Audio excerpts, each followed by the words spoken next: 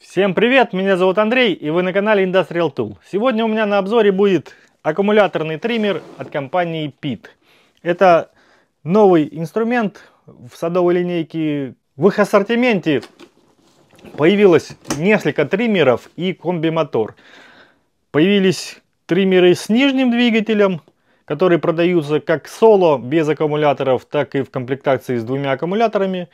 И также то же самое соло и с аккумуляторами, триммеры, у которых двигатель находится сзади.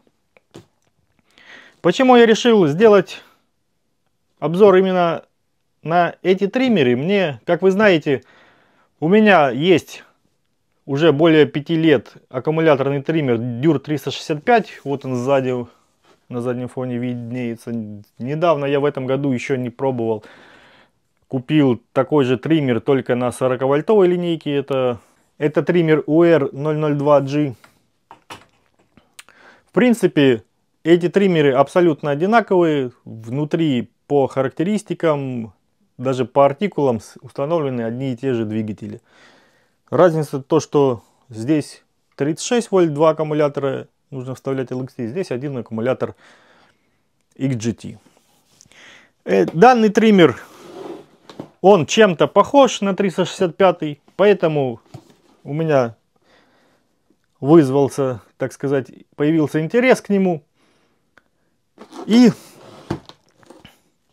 была очень большая скидка в одном интернет-магазине, и вышел он мне всего лишь 5180 рублей. 200 рублей давал сам магазин за первую покупку, и почему бы не взять. Сейчас такой цены, конечно, там уже нет. В этом ролике кошения травы не будет, так как еще не сезон, трава еще не выросла.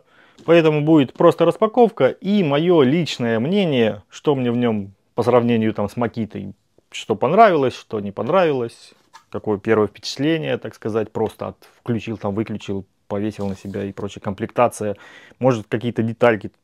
Просто я уже э, в телеграме компании Пит увидел э, отзывы некоторых покупателей, и там появились некоторые вопросы, на которые уже у меня есть ответы. Поехали смотреть упаковку. Упаковка красочная. Сразу виден здесь триммер. Указаны некоторые характеристики. Это 6500 оборотов и Диаметр кошения получается травы 380, дробь 255 миллиметров. Это означает, что 380 это будет с леской и 255 с ножом. Указано, что бесщеточный мотор, новое поколение.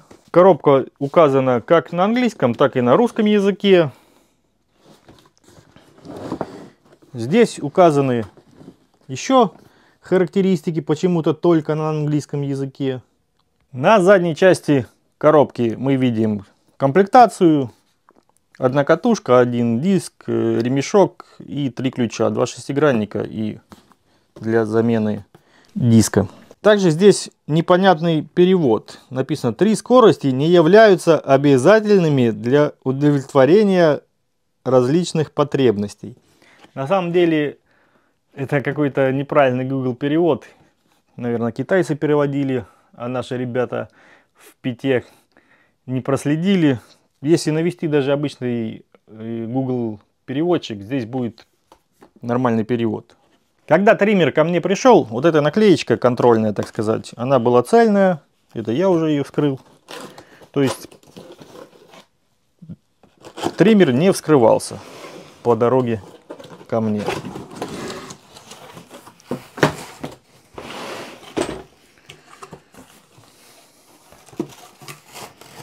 Открыли, сразу же видим здесь вот такой большой кожух.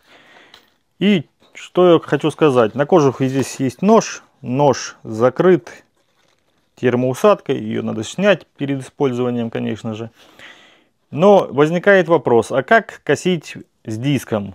Для этого необходим либо другой кожух, либо нож должен отстегиваться, потому что по высоте ну, насколько я знаю, это здесь надо пробовать, скорее всего, кожух будет такой мешать. Но надо пробовать сравнить, потому что в макете, например,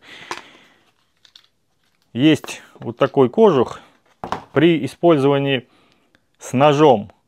Он вот такой маленький, но на него можно пристегнуть вот эту часть. Вот таким образом и на две защелочки. И уже мы косим леской и у нас установлен нож. Такие кожухи пришли на у Макиты на триммеры не сразу. Изначально здесь тоже стоял на 368 обычный вот такой кожух, на котором нет ножа. И мне пришлось в то время докупать, короче, сюда другой кожух. Универсальных этих не было, то есть я купил сюда другой кожух, который был с ножом. И каждый раз нужно было, если мы меняем леску на диск, нужно было менять кожухи. Это очень неудобно. Также еще есть вариант, у меня есть комби-мотор, который с нижним двигателем. У комби-мотора существуют тоже разные насадки. Бывает с таким вот широким кожухом, бывает с узким. Но здесь тоже есть вот нож. Также эти кожухи бывают разных размеров. Есть побольше, есть поменьше. Все зависит от мощности триммера. По кожуху, я думаю, претензия ясна. То, что надо что-то именно с ним, скорее всего, я думаю, менять. Далее. Огромный плюс, что здесь триммер разборный. Мы можем его разобрать, и причем разбирается он, видите, здесь вот такая заглушка резиновая. Если мы ее снимем, то видим здесь разъемы. У Макиты разъемов таких нет. Что этот, что второй триммер, они цельные. Комби-мотор, естественно, разъемный. Но комби-мотор у нас двигатель снизу, поэтому здесь внутри вал. Здесь же внутри провода. Мое мнение, почему Макита не сделала тоже триммеры с разъемным двигателем, так сказать, с разъемной штангой. Вообще у Макиты есть одна модель в Японии она продается, у нас не знаю, продается или нет, я не видел. Существует модель разъемная. Почему? Я думаю, что на все остальные триммеры Makita так не делает. Смотрите, здесь идет, вот если мы посмотрим на контакты, идет три контакта. То есть идет три контакта на питание двигателя. У Makita же проводов идет больше. У Макиты внутри двигателя есть еще датчики холла. То есть помимо три силовых кабеля, туда еще идет 7 проводов контрольных. И из-за того, что у Макиты получается уже контактов нужно сделать больше, возможно это очень сложно на такой маленькой штанге сделать, либо, ну хотя по идее можно это было сделать, даже если большие контакты ну, толще в этом месте сделать рукоятку. Но еще мое такое мнение, когда я работал в компании Makita, пару раз приносили такие триммеры, да и мой, если вскрыть, в этом месте идет соединение двигателя и кабеля. Обычные обжимные наконечники сделаны. Они иногда перегреваются в этом месте и отгорают. Ну, на моем опыте я таких триммера два разбирал, на котором были такие моменты. И я думаю, что если этот триммер тоже использовать постоянно по максимуму, я думаю, эти контакты накроются. Ну, это опять же мое предположительное мнение. Я думаю, Макита чисто, чтобы избежать этих проблем, ушла от этой идеи с разборной штангой. Ну, а здесь будем посмотреть. Вообще, я читал инструкцию, указано, что это не профессиональный триммер. Ребята сразу, сразу перестраховались насчет этого, о чем я говорю. И написали, что триммер не предназначен для покоса большого, больших объемов травы. То есть, пожалуйста, на всякий случай сразу ушли, так сказать, от ответственности. Далее, какая претензия? Только вскрылась коробки крышечка. В принципе, я думаю, это, ну, эта крышка Просто так для красоты прикручена. Вот. Ну почему вы ее не докрутили? Что она болтается? Тут три саморезика. Неужели нельзя просто взять и сильней поджать. Вот один винтик поджал. И все.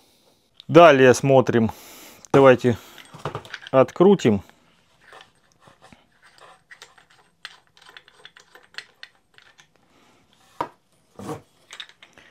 Ну, как в маките, чашка идет, шайба прижимная для диска. И вот, смотрите, почему-то вверх ногами стоит вот эта шайба. То есть комплектовщики сразу установили ее вверх ногами. Ну, как бы страшного ничего нет в этом. Вы, когда будете собирать здесь, поставить ее правильно. Но я думаю, для владельцев тех триммеров, которые купили впервые вообще такой триммер. Это может, как это сказать, заблуждение ввести. Вот.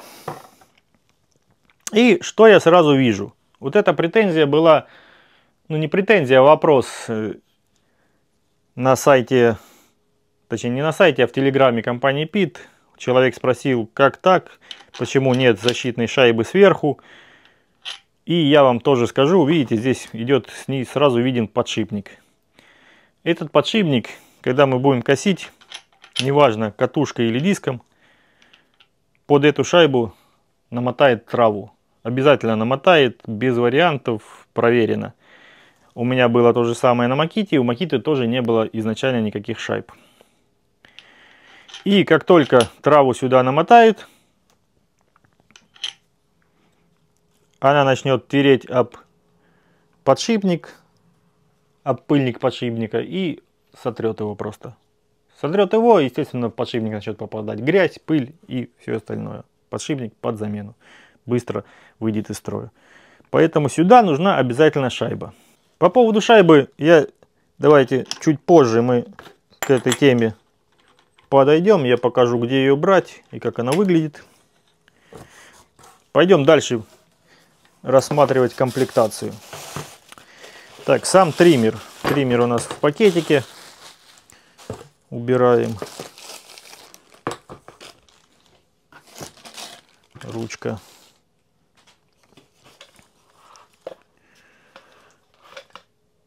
Задняя часть, она очень легкая. Вставляется два аккумулятора. Ручка, в отличие от Макиты, тоже разделена на две части. Получается, нам нужно ее собрать вот сюда.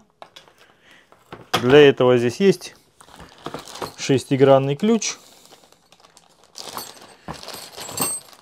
Стяжечки они положили.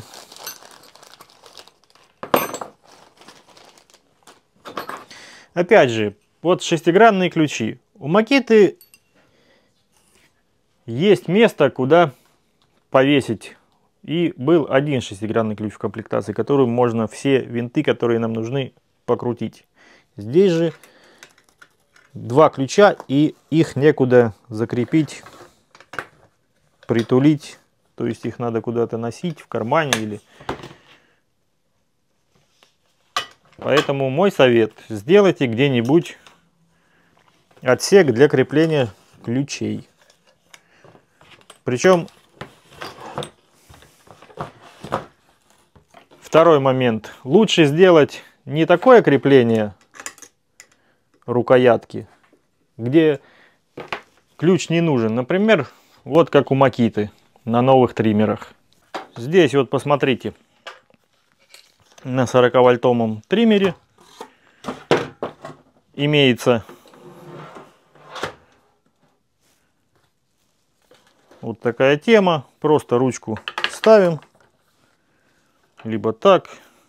Да, вот так. Правильно будет вот так. И в комплекте идет гайка, одна ручка. Мы ее закрутили. Очень удобно. Не нужны ни шестигранники, ничего. Второй момент, который был замечен, замечен тоже зрителями канала ПИТ. Если мы вот так совместим эти триммеры и вставим сюда, ну давайте я откручу, соберем ее как она должна быть. Ну, примерно вот так это одевается сюда.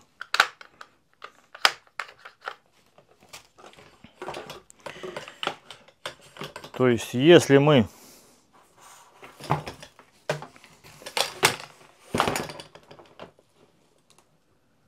сравним две ручки, то здесь получается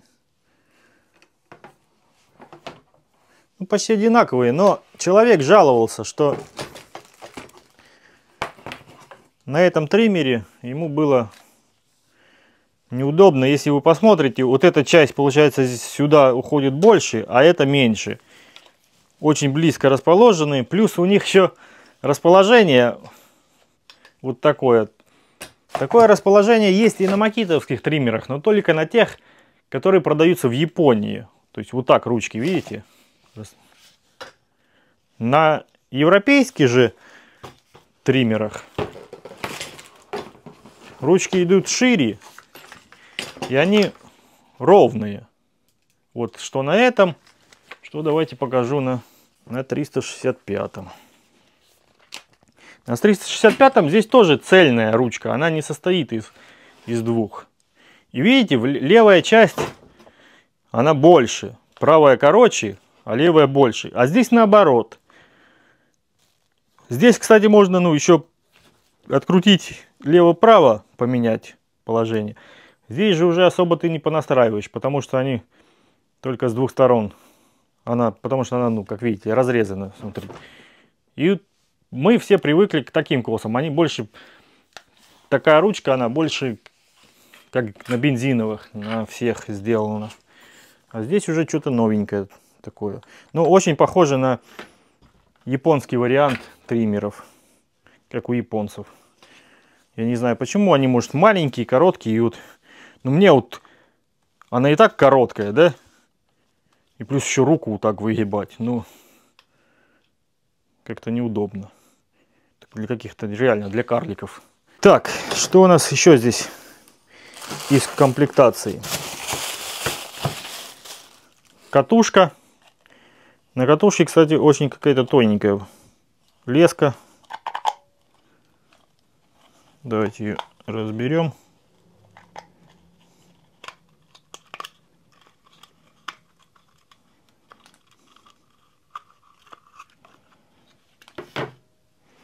Ну, леска намотана. Меняются металлические вот эти ухи, уши, ухи, я говорю. Катушка, в принципе, на первый взгляд неплохая. Легенькая. Само то для этого триммера. Идет трехлопастной нож.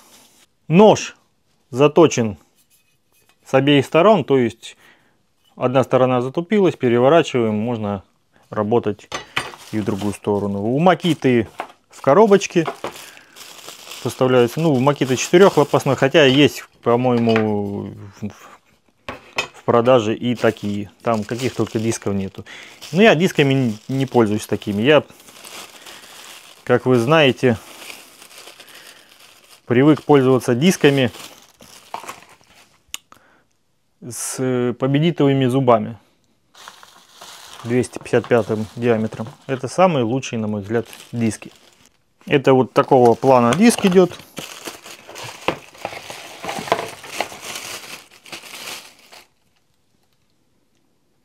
Здесь победитовые зубья. Это лучшее, что может можно придумать для кошения хоть травы, хоть поросли, хоть мелких веток фигачить даже пенечки всякие. Ну и в комплектации еще есть вот такой вот ремешок.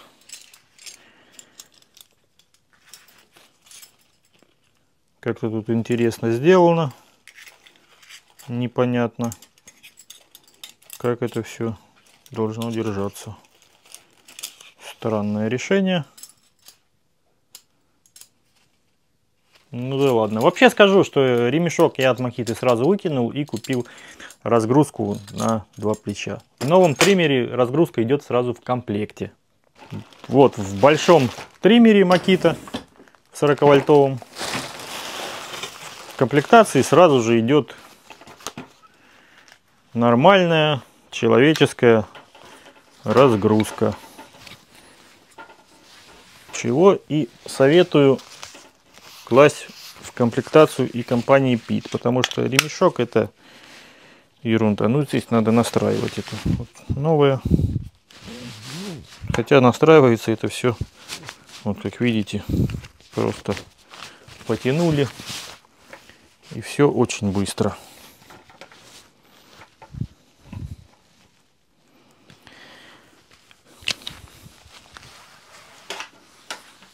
Хотя в первом триммере 365 тоже в комплектации был ремешок.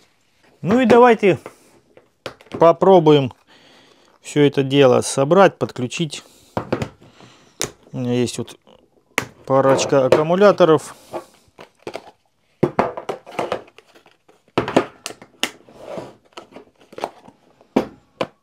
оригинальных. Это у нас пятерочки на 5 ампер. Сниму вот это все. Ну и давайте соберем его полностью. Здесь есть вот такой фиксатор. Его нужно отодвинуть и ослабить гайку. Соединяем, совмещаем, чтобы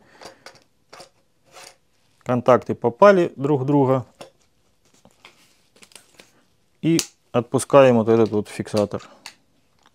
Все, затягиваем гайку.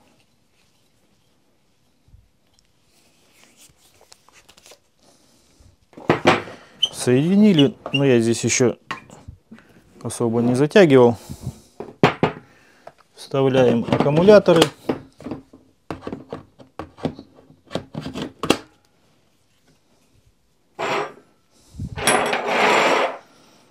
На корпусе имеется индикатор заряда.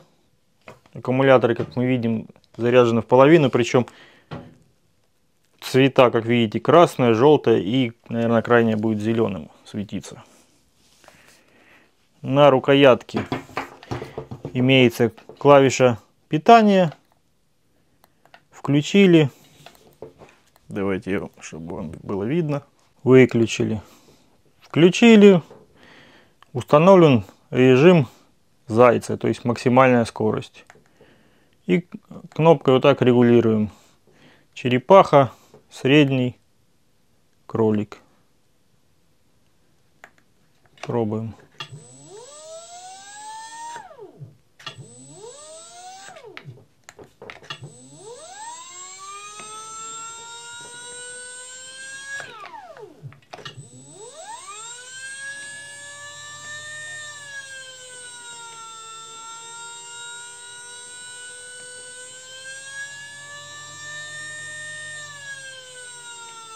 Ну, вот таким образом он работает. Сразу вижу, какой есть минус. Нет режима реверса. Как раз из-за того, что в двигателе нет датчиков холла, невозможно... Хотя технически это можно было сделать и на выключателе, по идее. Но, как видим, режима такого, такового нет. И это большой минус. То есть при намотке травы вам придется выключать, снимать аккумуляторы, и разматывать руками траву. У Макиты же две кнопки нажал, двигатель в обратную сторону, диск крутнулся, травку скинула. И какой еще момент, не знаю, как здесь есть такой режим или нет, что будет, если наткнуться диском на куда-нибудь ну, в землю воткнуться или в породу дерева что произойдет, если диск резко остановится? Отключится ли питание или не отключится? У Макита это сделано отлично. То есть, как только мы натыкаемся на какое-нибудь препятствие, сразу же отключается двигатель. Поэтому двигатель там очень сложно спалить. Вот таким образом смотрится это с кожухом. Есть ощущение, что для меня он маловат. Но будем посмотреть по факту. На корпусе, кстати, еще указано, что под дождем этим триммером работать нельзя. Сейчас снимаю эту часть и расскажу вам про вот эту шайбу, которая необходима нам.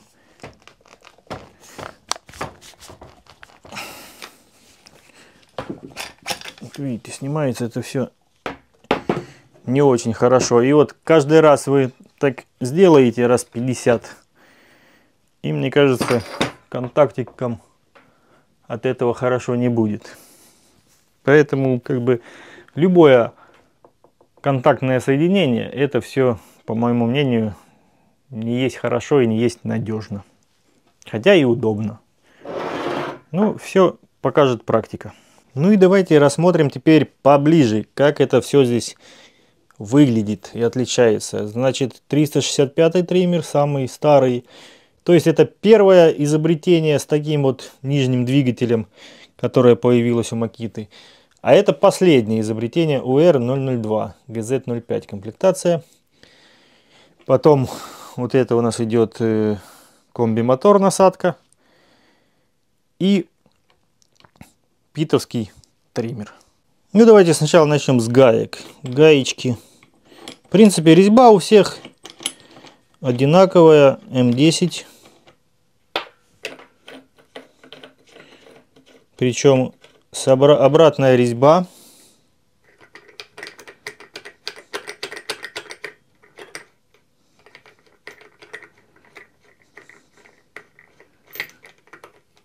На комби-мотор тоже гайка идет. Просто отдельно у меня лежит, потому как я комби-мотором с диском не работаю.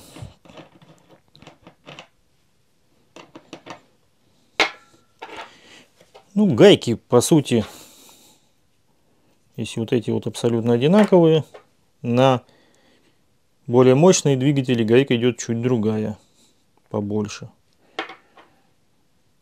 Здесь вот такая. На макитовских почему-то вот здесь шайба вот так сделана.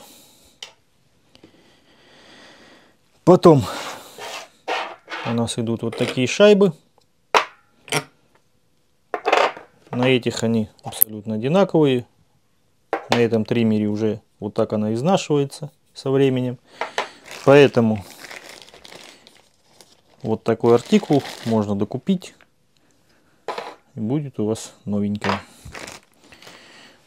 Она подойдет и вот на этот триммер, по-моему. Хотя нет, на, на этот, на комби-мотор, на более мощный идет другой размер. И вот Здесь уже металлическая. Металлическая, кстати, будет надежнее, чем вот это, потому что на металлической вот такой фигни происходить не будет. Вот это плюс, я считаю. Не знаю, почему они здесь делали ее пластиковой.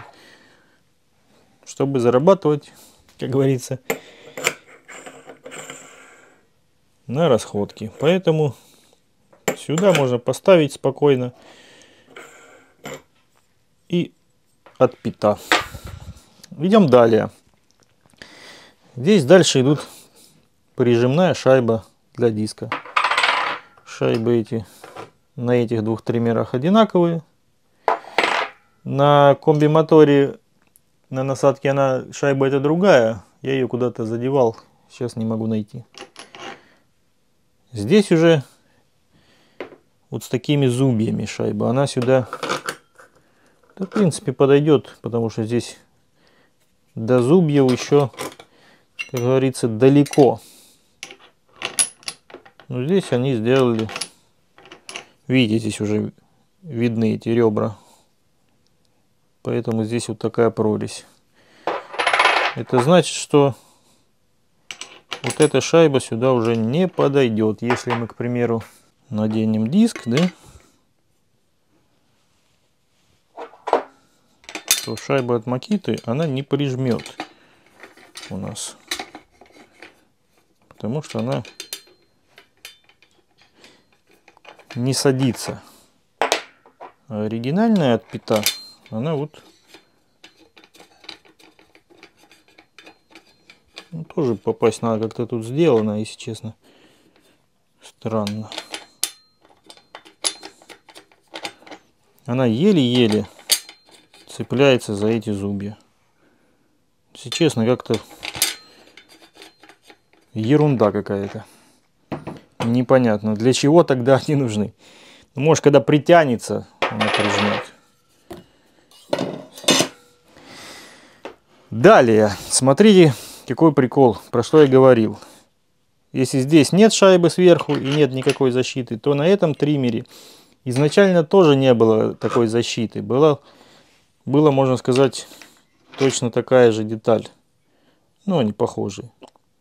Здесь одно отверстие для того, чтобы фиксировать. Когда мы откручиваем диск, сюда вставляем шестигранный ключ или отвертку и фиксируем ротор. Здесь более правильно сделано. Два отверстия, чтобы не было дисбаланса. Это уже большой минус. Из-за этого отверстия уже это идет разбалансировка. Она хоть и небольшая, но будет влиять на работу подшипника. Вот это, товарищи питовцы, учтите. Просверлите с другой стороны точно такое же отверстие не должно быть в этом месте никакого дисбаланса. Может быть, да, я не, не прав, он там не такой большой, но он все-таки будет, как ни крути. Как мы видим, здесь сюда тоже может наматываться трава и делать там свои нехорошие делишки. Поэтому я когда-то приобрел вот такую шайбу. Ее я покупал не отдельно, она покупалась вместе с кожухом, который шел для травы с леской. Совершенно случайно она мне досталась. Но я узнал, что оказывается у нее есть артикул. Этот артикул вы видите на экране. И вот она вот сюда вот так ставится. И все становится нормально. Также ее можно поставить и на питовский триммер. Вот видите, она ни за что не цепляется. Спокойно мы ставим нож. Ставим шайбу и закручиваем, и все нормально. Поэтому настоятельно рекомендую докупить эту шайбу. Но Макита пошла дальше, в своих она всегда совершенствует свой инструмент. И они стали продавать сразу, видите, оно идет все вместе.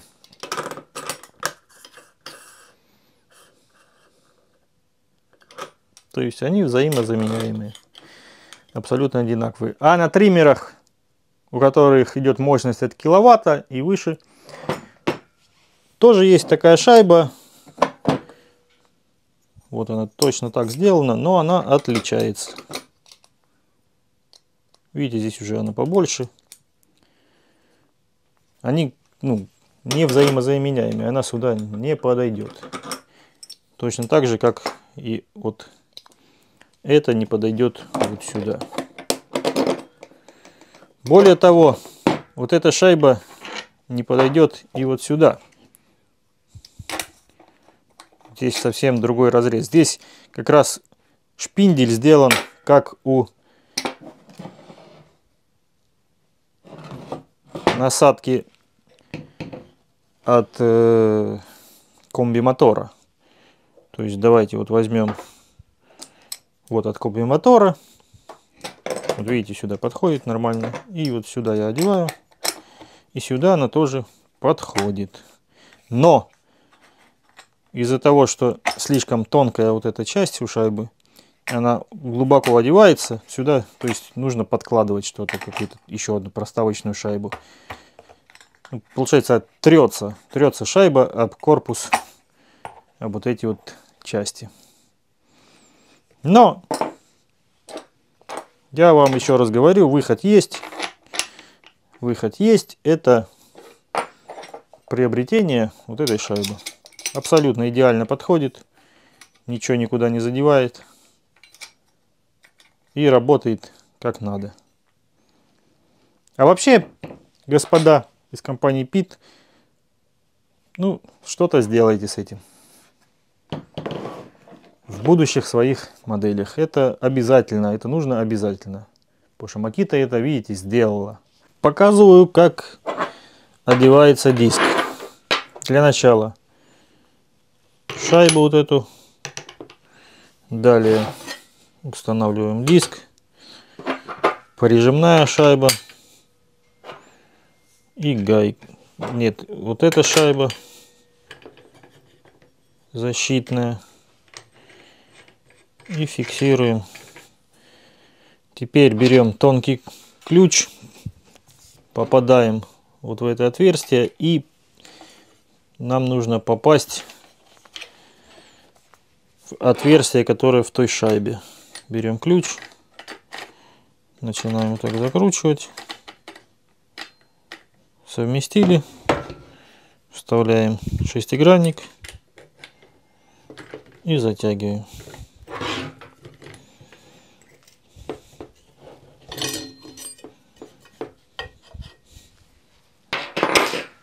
Затянули. Между шайбой и вот этой внешней и диском почему-то есть отверстие. На Маките, по-моему, такого нет за счет вот пластиковой. Хотя диск закрутился жестко.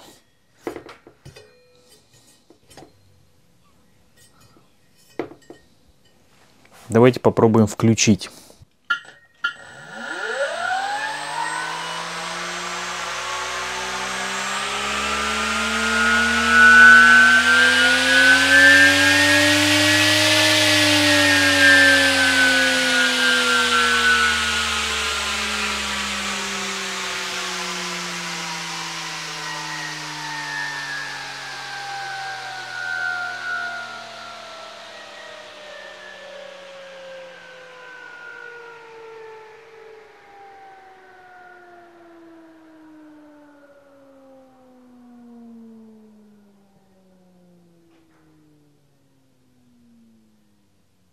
Как мы видим, у триммера нет даже электронной остановки двигателя. То есть электронного тормоза нет, что тоже является очень большим минусом. Ну, это и понятно, что его тут и не было бы, потому как нет датчиков холла. То есть на двигатель идет всего лишь три кабеля это просто питание. Теперь снимаем диск. Обязательно сняли аккумуляторы. Я в моем случае просто отсоединил пополам. Берем также ключик. Ищем отверстие. Ну, опять же, вот еще один минус, что нет напротив отверстия. С двумя отверстиями было бы проще искать. И откручиваем. Откручиваем мы правую сторону против резьбы, так как резьба левая. Снимаем, снимаем прижимную, снимаем диск. И теперь нам уже вот эти вот запчасти не нужны. Просто закручиваем вот сюда катушку. Опять же, напомню, что шайба это будет не лишней закручиваем в левую сторону закрутили. Все зафиксировали. Нож. Вот здесь вот вот эту резинку сняли. Все запускаем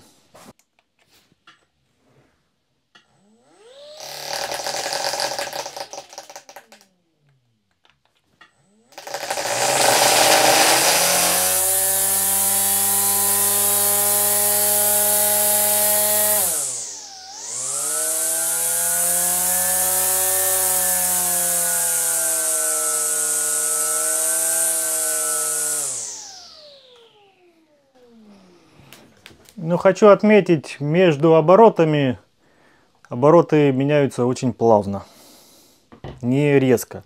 Ну и давайте посмотрим, что находится у нас под крышкой.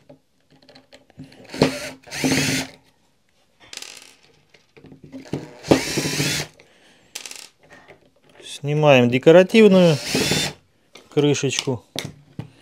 Ну, как я и сказал, это просто так показать, так сказать, лейбл этой компании, потому что, скорее всего, эти двигатели делают и на очень много других триммеров, других компаний. И откручиваем крышку двигателя. Так.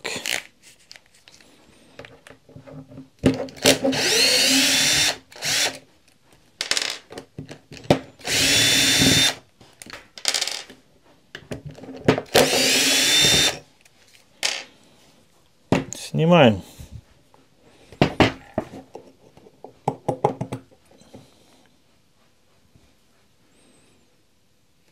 Внутри даже какая-то, как смазка на ней.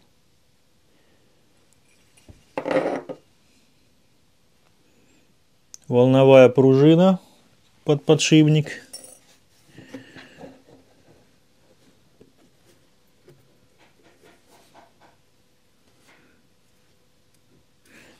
Вот это мне непонятно, что это такое. Ну и внутри ротор. Причем ротор держится на нижнем подшипнике. Видите, не цепляется за стенки. Возможно, здесь установлена даже пара подшипников. Либо очень жестко так сидит. Потому что обычно, если снять с одной стороны опору, то начнется вот такие колебания.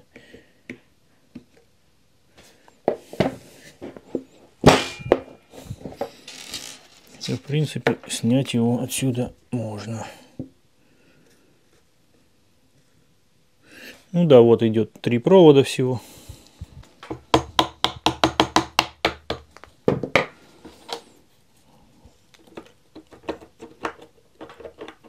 Да давай выносим. Нет, подшипник здесь один. Вот такой мощный ротор. Но двигатель не такой, как в Маките. В Маките, получается, у нас ротор стоит на месте, а крутится как раз статор. Там уникальный разработка, новый двигатель. Здесь же стоит стандартный. Ротор крутится, статор стоит на месте. Сколько здесь катушек? Раз, два, три, четыре, пять, шесть, семь, восемь, девять. Подшипники какие-то РЗН 6001 и CHL 608 RS. Что-то тут писали 1, 2, 3, 4. Ну и балансировочные есть места. Тут балансировали его. Причем что-то прям много насверлено и здесь, и снизу, и сбоку. Ну а теперь поехали смотреть, что внутри контроллера. Хочу сразу обратить ваше внимание. Наклейку я снял с помощью фена. Она отклеилась очень легко. Видите заднюю часть? Здесь прямо видно, что вот эти вот контакты аккумуляторов, они сделаны на отдельных таких пластинах пластиковых. Это, скорее всего, говорит о том, что это универсальные крепления, и такие триммеры будут не только у Пита, но и других фирм, и просто будут меняться вот эти колодочки под разные аккумуляторы. Ну, это я так думаю. Давайте вскроем.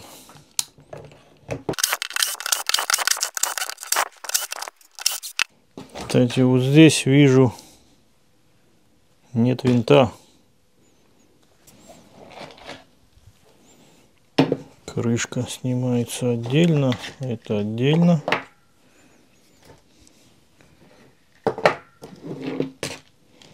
Здесь получается какое-то отверстие для чего-то.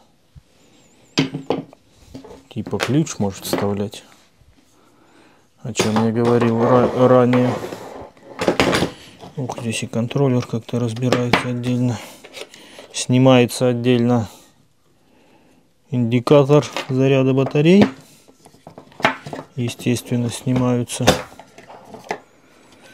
колодочки. И здесь как-то прям что это такое контакт на контакт прямо загнуто.